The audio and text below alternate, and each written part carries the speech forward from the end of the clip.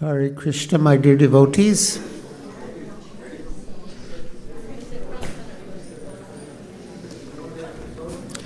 I will uh, sing the Nrsimha prayers, and then um, we have a rabbi from the Jewish tradition who is visiting, and he has some questions that would be uh, uh, of interest to all of us. Um, would you like to introduce yourself and give us a little background of of who? Of, yeah, you can come here and stand.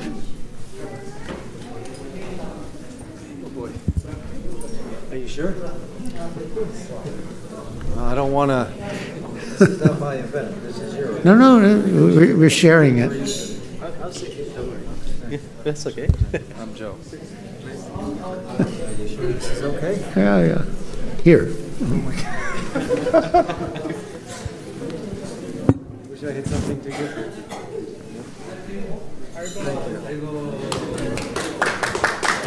you. Well, shalom, everybody. Shalom in Hebrew is one way that we greet.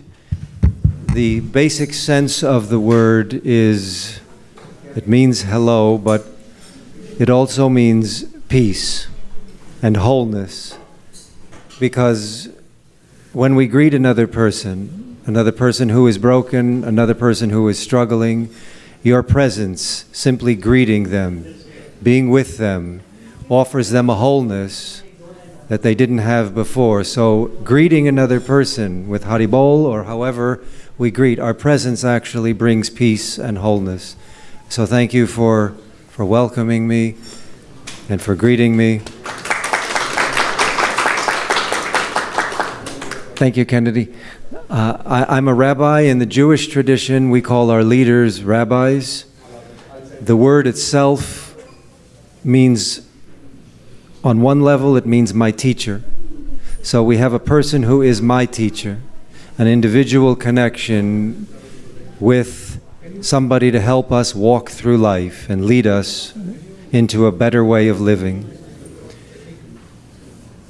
I am here today to learn more about your faith tradition, and I'm honored to be here with you. I have been at a few Hare Krishna temples before, but this is the first time I've had this type of an engagement or an opportunity. And from what I know of, of, of Eastern thought, we have much in common, but we are different paths. We follow different ways into that one God that we all believe in. And what I thought I was would do today when I was asked to come up is I would help us understand maybe some of the areas that we we differ, but also areas that we probably share in common as far as God and our relationship and our connection with Him. So, my, my first question, if that's okay, is in Judaism, we also believe in one God. I'm not sure of the nature of the oneness in, in your tradition, if the many are manifestations of one, or if it is one God ultimately, or there are many gods. So that the first question I'd like to understand is Krishna the prime God of many, or is, is he the singular dimension of God with many manifestations? Is it multiplicity, plurality, or singularity with many manifestations or aspects? That's a very good question. Um, well, in the Vedic tradition, there's one supreme God, uh, Krishna, but he also manifests himself in other forms, but they're still the same one supreme God. Uh, in addition to the supreme Godhead, there are devas or devatas, which we call uh, in English demigods. They are not God, but they are uh, powerful living entities who have been uh, entrusted with uh, important services in the universe. So, um, yeah, you might have heard of Shiva, Durga, Ganesh, and so on. So they are uh, devas or devatas or demigods, and their relationship with the Supreme God or Krishna is compared to, uh, you know, members of a cabinet with the uh, king. So, yeah, like uh, Brahma is in charge of creation, Shiva is in charge of destruction, Indra is in charge of rainfall, uh, Varuna is in charge of the waters, Vayu is in charge of the wind. So they are not the supreme God, they are servants of the supreme God. But because of their pious activities, they have been awarded with these uh, services in the uh, management of the universe. Are they physical beings that were exalted ultimately into a demigod status, or were they always spiritual beings? Yeah, they were. They were always demigods. But some, some like Brahma, even Indra, they are posts. They're positions. So. Um, of course, the duration of life as Brahma of Brahma is very long, but um, yes, a living ent- uh, a, a, living entity, if he's pious enough, he can uh, occupy the post of Brahma or Indra.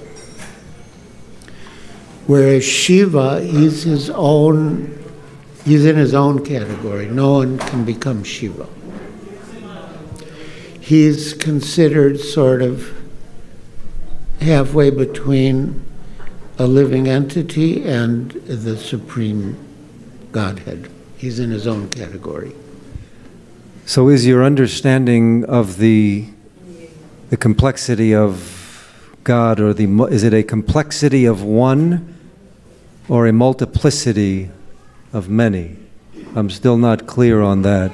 In in the Jewish tradition, we have an absolute, and there may be a difference here, I'm, I'm not sure.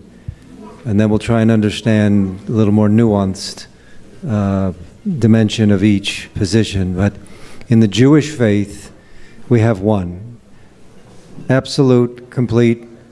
It's a singularity. In fact, the mystics in the Jewish faith speak of it's an absolute and an infinite oneness.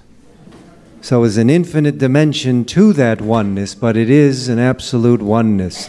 So we can experience God infinitely through every different encounter in life if we have a heart that is open and a mind that is seeking and eyes that are searching for and ears that are willing to hear.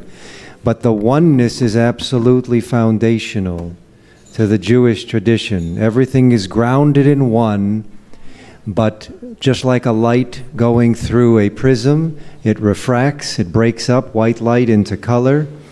That oneness can manifest itself as distinct aspects, but it is always that one source, that one source of mercy, that one source of love, that one source of creation, and that one source of life that is always calling us into relationship, but it is one that we can encounter through many different ways. How, how does that fit with your model of, of the divine personhood or personhoods of Krishna and the gods or the demigods? It's the same. It is. It's completely the same. Yeah, absolutely the same. So then, what does it mean that Krishna was born on this day? For us, God always was. The, one, one of the names of God, I'd love to know some other names or insights into the names, behi- the meaning behind the names of God Krishna, Shiva, any Brahma. In, in Judaism, one of the names of God, he has many names for the one. But one of the names of God has the letters in it that represent the word. I'm getting a little grammatical, and I'm sorry, but it's uh, in grammar. There's the verb to be, is, was, will be. One of the names of God in Judaism has the letters that make up is, present tense being, was, past tense being, and will be, future tense. So it's an infinite continuity of being, existential being, always was, always is, and always will be. That's one of the sacred names of God that we speak of. And there is no birth, there is no death, there is no incarnation. It simply always is and always will be and always was.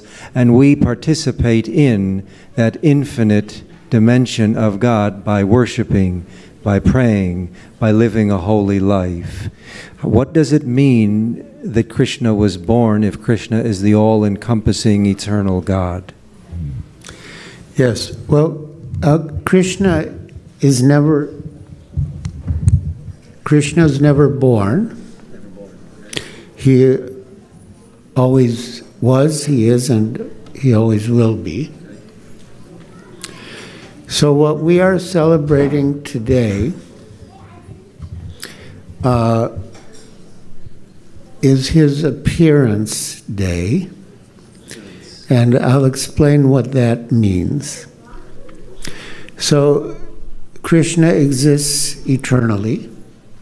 He exists eternally. Yes. In his abode, the kingdom of God. But he comes into this world from time to time to uh, show people, you know, who he is and what he does, uh, to attract them to his divine personality and service. And when he appears, he chooses, uh, you know, very pure souls to act as his mother and father. But he's not born. Uh, but the example is given that the, the sun is always there, but at a certain time it appears to rise, and a certain time it appears to set, but it's always there.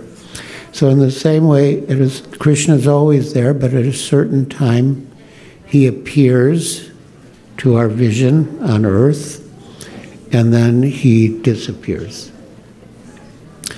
And during that time, he of course, this is, uh, but I think you might also have something like that in the Jewish tradition. But one can have different relationships with God. Of course, there, we're all servants of God, that's a given. But uh, one can have, uh, be in the mood of uh, just as a servant one can be in the mood of a friend. One can be in the mood of a parent. And so Krishna uh, selects two very pure souls who are have the mood of parental love, and he appears as their son. But he always exists. It's just like a, a pastime. And what, exact, what, what exactly does pastime mean? Yes, pastime means, I mean, the Sanskrit word is lila, and it means uh, something he does for his pleasure, not something that he's obliged to do. And what is the purpose of those pastimes as far as our lives? Is are they instructional? Are they they're, they're actual? He actually Yes, yes. existed, and the Yeah. events took place. Yes. But what is is there a symbolic dimension for us in life that we are to model, that we are to imitate, that we are to live by, or is it simply the historic dimension of his existence at that time? Yes, his, uh, his appearance and activities are in, instructive. And there's a very important verse in the Bhagavad Gita uh, Janma karma chame divyam evam yo veti tatvataha tyaktya deham purna janma naiti mam eti Arjuna. One who understands the transcendental nature of Krishna's appearance and activities in this world uh, never has to take birth again, uh, but attains to Krishna's, uh, goes to Krishna. Now, the, uh, I guess you could say the philosophical basis of that statement is that the, the soul is eternal. And when the, when the soul leaves the body, it goes somewhere. And where it goes depends on the person's activities during life and thoughts at the time of death. And in that way, one continues to transmigrate um, from one body to another in the material world. But if one thinks of Krishna at the time of death, then one doesn't have to take birth again in the material world, but goes to Krishna and lives with Krishna in the spiritual world. And that is, uh, you know, mukti or moksha, that is uh, liberation from the cycle of birth and death.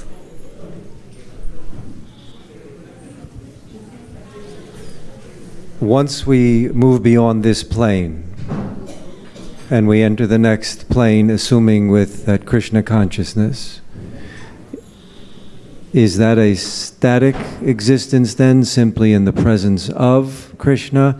Or is there an evolving, growing, awakening awareness of the infinite world or dimension that we are in? Are we growing still once we are beyond this plane?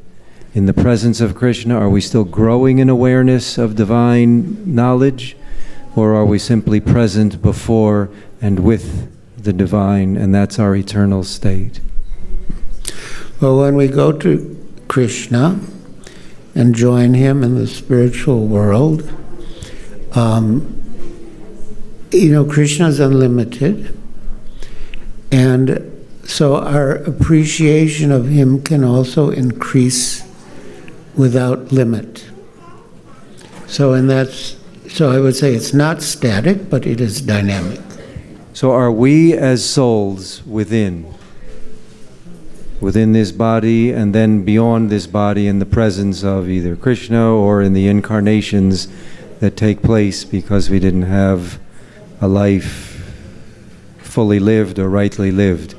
Is, is our soul, our, the non material nature of our being, is that eternal? Or is that at some point generated in, in the past? Yeah, the, the soul is eternal. It has no beginning and no end. Um, sometimes we might say that uh, that we're created by God, but technically we're not created but we always exist. But it's like the sun and the sun rays. Both exist simultaneously, both are eternal, you know, in this example. But still, the sun is, uh, you could say, primary, and the sun rays are secondary. But they, they both exist simultaneously. And would we, do we partake in that infinite nature metaphorically with the sun as rays? Or are we, in a sense, also the divinity since we're both in this model that you're speaking of? Are we both divine, not having an aspect of the divine, but are we both equally divine since we are both eternal? Yes. The soul, uh, the soul is part and parcel of Krishna. Our souls, our individual Yeah. souls. Okay. Yeah. And they have the same qualities as God, but in minute quantity. So it's a part of the infinite, if we can use that language, Yeah, we are. The individual soul is, is an aspect of the infinite. yeah, part and parcel. So we are in, in part Krishna, the universal Godhead. Yeah, but two, two things. One is he is infinite and we're infinitesimal. Okay. And he's the master and we're the servants. Okay. And how how do we work our way back into as infinitesimal aspects of the infinite? How do we work our way back into the infinite on this in this life on this plane Yeah. or on the many planes that we have to go through? Yeah, that's the most, most important question. And uh, the answer is uh, through loving service to God. Now, uh, there are uh, different, you could say, different stages in the practice uh, because in the beginning we don't have love. I mean, we might have a sense of love, but we don't have uh, fully developed love. So, um, yeah, so this practice or process is called bhakti yoga. And uh, there's a whole science of bhakti yoga. And um, anyway, so um, Krishna Krishna appeared. What we're celebrating today, he appeared five thousand years ago. But then he appeared again 500 years ago in the guise of a devotee to show us show us how to be devotees. And that is uh, Sri Krishna Chaitanya. You've heard of I've heard of Chaitanya, yes. yeah. So Sri Krishna Chaitanya is Krishna, but in the role of a devotee. So he is he is human, physically able to be touched, Oh yeah, spoken to. Yeah. He eats, he sleeps. yeah. Okay. Yeah. So he he appeared 500 years ago, and he empowered one of his disciples named Rupa Goswami to um, explain the whole science of bhakti yoga. So Rupa Goswami wrote a book called Bhakti Rasamrita Sindhu that is the complete science of bhakti yoga. And Srila Prabhupada has given us a summary study of that book eh, as the nectar of devotion. So that, if we follow that process, we um, uh, can become qualified by the Lord's mercy to, uh, to go to the Lord.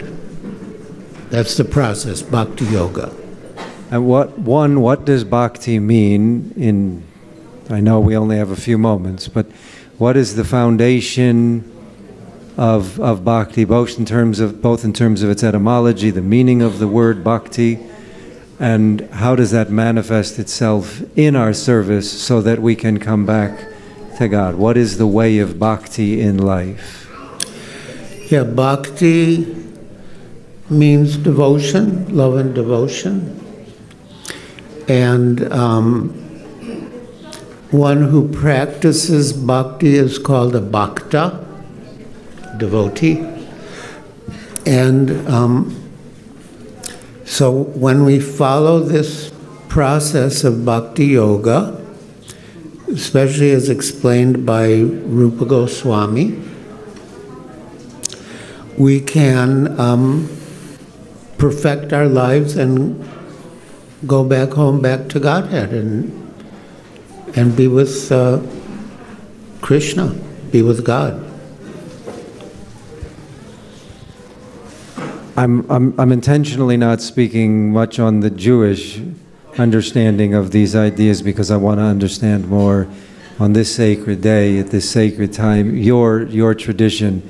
But, but I, I want to help, I want to, I want to understand, or this will help me understand in this one question. I'm going to bring up some Jewish dimensions to see are we on similar paths to the one, or do we, are we on parallel paths? That some way, sometimes part ways.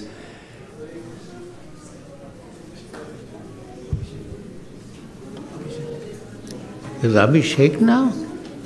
But Vaisheshika Prabhu is not back.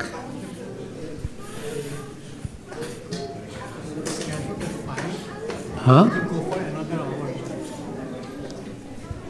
Abhishek is scheduled at 5 to 6.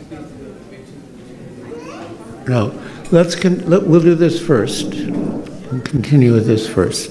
Sure. Yeah, yeah. Should we take a vote? Uh, so what was my question? Oh, uh, I want to I want to understand more how we make our way back into our ultimate connection with God, which is what we're all seeking.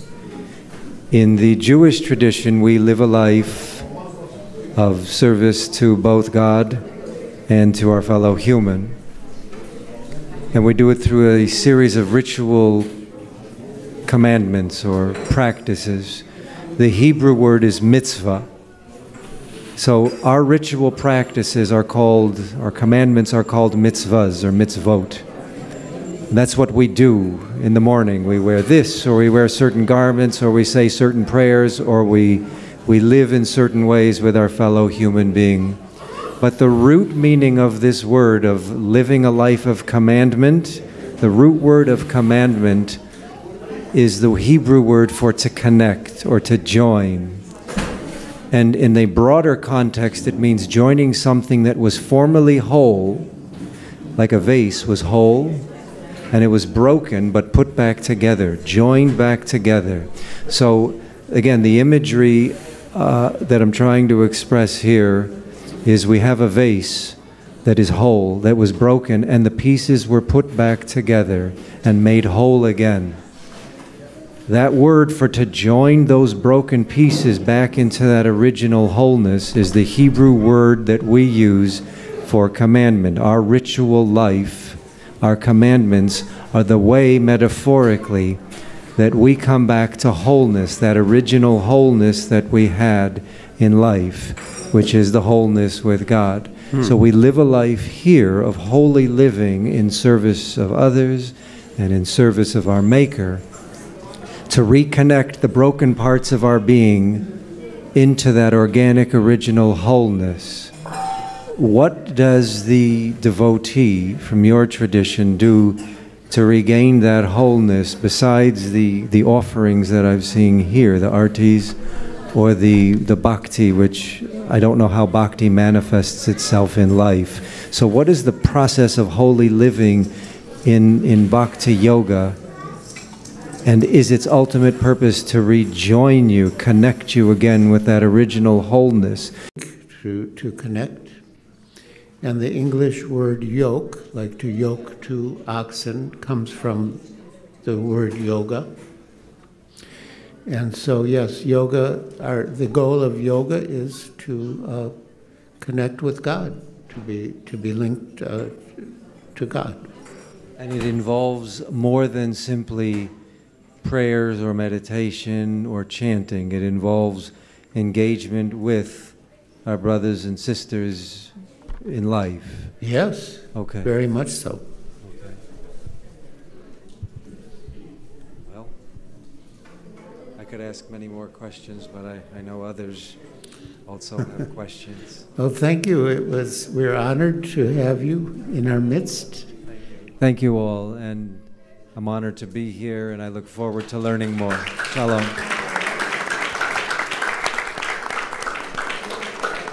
A rabbi. He's the leader of this local community. I'm visiting from